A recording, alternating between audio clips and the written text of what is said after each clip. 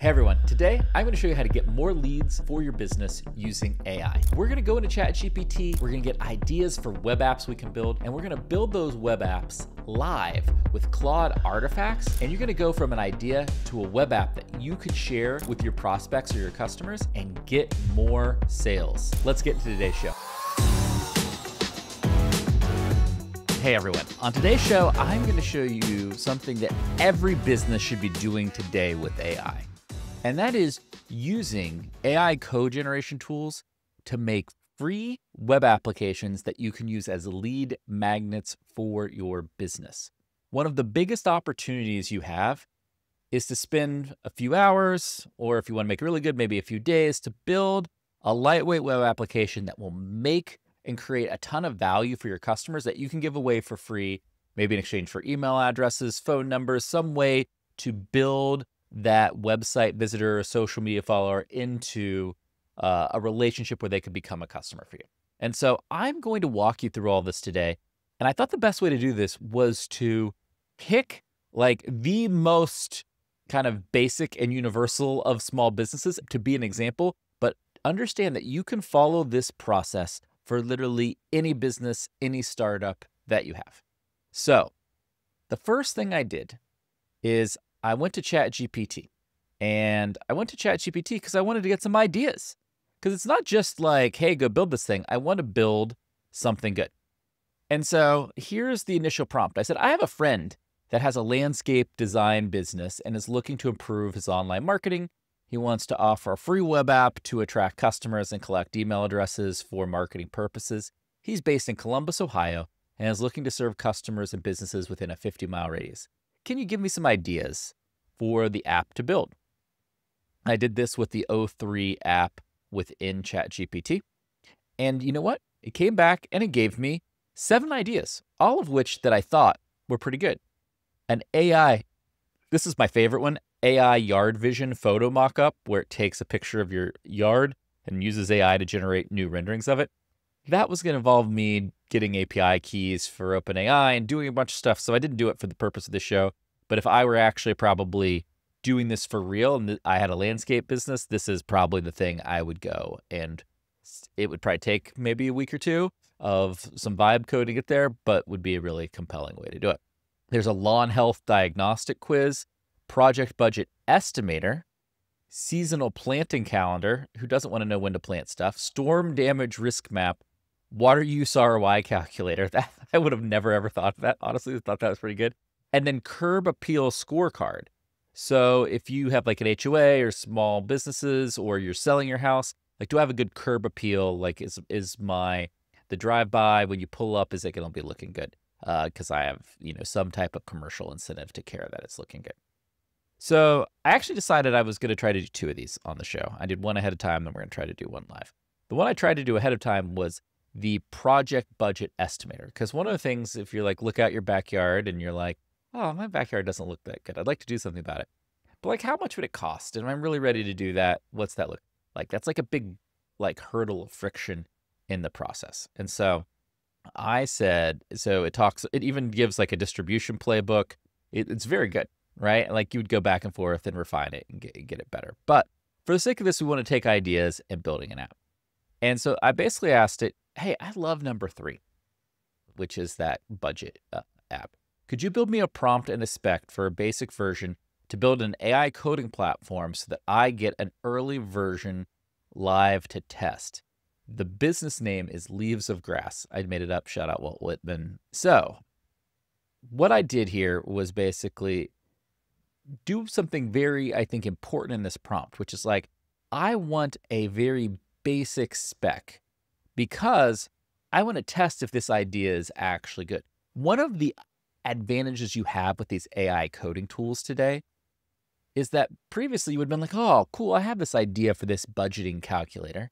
I'm going to hire some type of web development company to go and build this for me. And they're probably going to charge you 10, 20, 30, 50K to do something like this. It's going to take, you know, a couple months probably for them to do. And it may or may not be the right thing. It may or may not work. So it's a lot of time and upfront money to know if it is the right thing to do for your business. So, one of the advantages of these AI coding platforms is that you can get a proof of concept. You can get something that you can put on your website or share with a small number of people to say, hey, do people actually use this? Does it work? Does it give people value? And if so, then I can either take time to build a deeper version or maybe hire somebody to build a, like a really thorough, deep, high scale version, right? And so this is like, can I get to prospect market fit and do, does a prospective customer really like and want to interact with this? And so I asked it for that, and it gave me a one shot build the app prompt. Okay. And then it also gave me a full technical spec for me and any people that were going to work with the prompt that it generated. And it says, hey, here's the recommended build uh, sequence scaffold with the one shot prompt, configure Supabase or SendGrid this is like, hey, if you want to build the entire app, do all of the back end, have the email automation work, do everything, it's saying it's going to take you about four hours, which is not a short amount of time, but not a crazy amount of time for something that would have taken months before. Um, and it tells you exactly what to do. And you can then basically ask questions and how to's to each of these numbers. And uh, depending on your level of proficiency, a couple hours to maybe a day or two, and you would have this done. How do you do it even faster? Well, I want to show you how you would go and do it even faster. One of my favorite AI products out right now, and you're going to see lots of different shows from Kieran and I coming around this, is all on Claude's artifact feature. And artifacts are a way that you build and deploy web apps in Claude. You want to go to Claude and you want to click on artifacts. So you have new chat, chats, projects, and now there's this new artifacts. And you can go look at artifacts people have built. You can look at the things you built, or you can go to create a new artifact. And what's really cool is that you can build apps and website, documents, games, productivity tools, quizzes. Remember that quiz idea that ChatGPT gave us? We could build it right there. And you can publish a public version of your apps without having to do a lot of the back end work, especially if it's just a prototype. Like if if you have advanced features, you need an API and that kind of stuff, you're not going to probably put it on an artifact. But if you're doing like basic web apps, artifacts are a really quick and fast way to do that. And so this is what I have built for our calculator. Okay, so I went into Claude and I pasted this one-shot prompt from ChatGPT that we we got the idea, we asked it for a prompt for the idea we like, and you see the full prompt in here, and it's basically giving it the lightweight web app to build. Claude goes through and builds, you know, the full document, the code, everything that you need here, and it kind of got a little stuck, so I had to do it again. Um, it, ba- it and basically tells you, hey, here are the features that I implemented here's what what I did, and then it tells me how to get started, like how to copy the files, set up an environment, run all of this. And I said, hey, and I just did this in regular Claude. I didn't go to the artifacts feature like I showed you at first. It's like, hey, can you just create an artifact for this so that I can see how it works? And so it did that. And if you click on this, then this pops up over here, which is my real live web app. And it made a logo. If I had given it a logo, it would have used that. Um, but this is my made up business. And it says, hey, instant pricing, professional PDF estimates, local Columbus expertise. Start start your estimate. So hey, you know, maybe I got a, I got a my square feet of my lot's actually pretty big. I'm gonna say I got ten thousand uh, ten thousand square feet. Um, you could upload an image of your property. That's optional. I won't do that now a premium patio installation. I want I'd, I'd like a 500 square foot patio. I don't want a pergola, but hey, I love gardens, so I want a good good amount of planting beds. Lighting fixtures, yeah, I don't want to walk around in the dark. I'm gonna need eight fixtures in there. Sod, you should see my grass. It's horrible. So I'm gonna need most of the yard sodded, you know, when I don't where I don't have the other stuff. Do I want a custom water feature? Sure. Who doesn't like water? And then I'm going to say get my estimate. And right here, it says, yeah, my name is yeah, Honor. I can't even capitalize my name. put in a fake email, get my estimate, and then it is it is it is supposed to send me the actual PDF estimate. Demo mode, email not actually sent. Um, or I can say download a PDF uh, uh, as well. But here it is. Here's the actual estimate it gave me. Like, so, you know, if I went in and gave it all these variables saying, hey, it's going to take, it's going to cost $34,000 in two weeks. Obviously, this is an estimate. It wouldn't be binding. You'd go in and you'd put all the, all of your actual costs in and estimates in. But I did this in 20 minutes. You could see how a little bit more time and you could make something really good. And what's crazy is I can hit publish right here and I can publish and copy the link. And now I can just copy this link and put it wherever we want. And like I can put it in the comments of this show and you can go and see that it's like live and available. Yes, I can go and do all the hosting and build the web app and everything. But let's say I just have like 10, 20 customers, or I have a page on my website that I want to put it on for a week to see if people actually use it and what works and what doesn't work with it. I can use this Claude project link before I go and invest in the, the next big, heavy version of this, which is pretty wild and pretty awesome. So, like, you can go from an idea for your business for a lead magnet to putting uh, having a live working app in 30 to 60 minutes. Now you got to get the email collection right, collect it in your CRM, use HubSpot, that whole thing. But that is what needs to happen. Hey everyone, look, if you're enjoying this episode, you're going to love this. You can go through it yourself right now and see how surprisingly smooth it is. You're going to want to get this right now. Scan the QR code or click the link in the description below. Now let's get back to today's show. Okay. So then let's do another one just for fun to see if if it if it's if it works and everything. Again, so I asked it for one of my other favorite ideas, which was the curb appeal scorecard.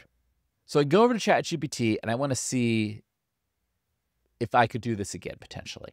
And I really like the idea of this curb appeal scorecard. And so I had it generate the same one shot prompt. And if we were doing this for real, and this was really our business, we would probably iterate on this prompt and the details around how you wanted the app to work and everything. You would go back and forth on that more. Probably take 15 to 20 minutes to really get this prompt deep and right.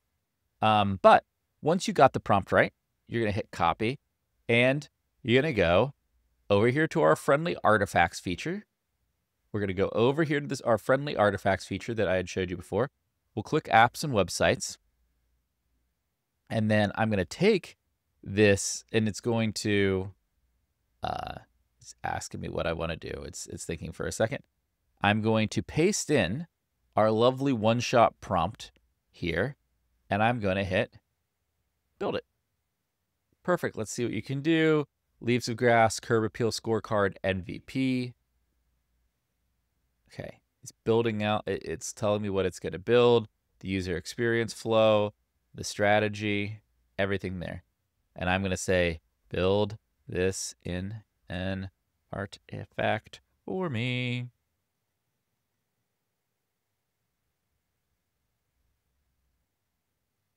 So now you're seeing that we went here, put in that prompt, and now it's actually writing all the code. You can see it here, generating the code for our app and so an artifact really is just a web app where the code is written, contained, and hosted within Claude. And I suspect Claude is going to keep making artifacts more and more powerful. And for a lot of one off use cases, small business use cases, individual use cases, you're just going to end up using artifacts versus like going and hosting a full dedicated web app. Um, because I think Anthropic is going to make that uh, product better and better. They'll probably charge you for uh, the hosting and some of the the costs of goods sold associated with that, but we'll we'll cross that bridge when we come to it. So it is generating, it's writing. Like I said, you're even though you're writing a quote unquote an MVP app, it still has to write a good amount of code and is working through here. I feel like I'm kind of on like an old school cooking show, you know, where they put the thing in the oven and then they turn around and they take the done thing from the other oven. It's like whoosh. Except this time it really did because here is our scorecard. What's interesting is it used the same logo and branding as the other app. Like, and I didn't say to do any of that, which is which is pretty cool. And here it is. So you upload pictures of your property or choose sample images, and then you continue to your assessment. And like we have a we have a working app. And we would upload photos. Yep, it's pulling uh, it, upload photos. We would put photos in, and let's see let's see if it how, how it actually works here. All right, so I found a photo from Google of a house that had good curb appeal. I'm just gonna see if it'll let me upload one and continue the assessment. All right, I uploaded picture. Now, how well maintained is this landscaping? Oh, it's excellent. Conditions of walkways are four. Maybe there's a couple little cracks. Uh, we are how much seasonal color is present. Oh, there's some flowers there. It's looking good. Outdoor lighting, it's five. Attractive is the signage and wayfinding. It's four it's looking good. Uh, what's interesting is it created all these categories and did all of this for us. These are like good things. Obviously, depending on your business, you would go and customize those. And then again, put your, and you could decide if you wanted this type of conversion mechanic or if you wanted to do something else. But this is a uh, a good example of that. All right, and then hey, it says hey, you have a grade A. Here's photo analysis, green coverage, 47%, visual symmetry 78%, areas for attention, debris visible, uneven edges. Uh, let me see if I can. There's no debris visible in this photo, but we I, I digress. Um, it's it, it's it's an early prototype of of what we're doing here, but again, you can see that you would potentially hook up a hook up the right API to analyze the photo and do all of the, the work that you'd want to do here. So these are two apps that if you were a landscaper, you could go and build and test. And you know what? Likely increase the amount of people who are coming to your website that you're actually getting email addresses, reaching out to, and trying to work with for landscaping services.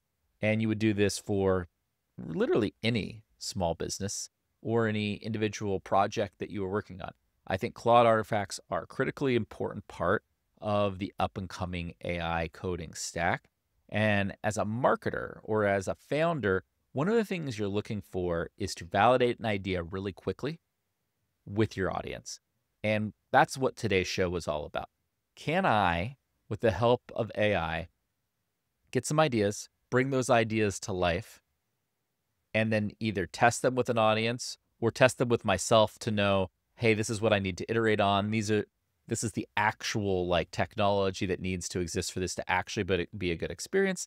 And we go and build it. We take it live to everyone. Uh, I would love to hear what you've been building with AI coding tools. If you're using Claude artifacts, publish links to stuff you're building below. I'd love to go and check that out. Thank you so much for checking out today's show. I'd love to hear how you're inspired to go and build some stuff for your business.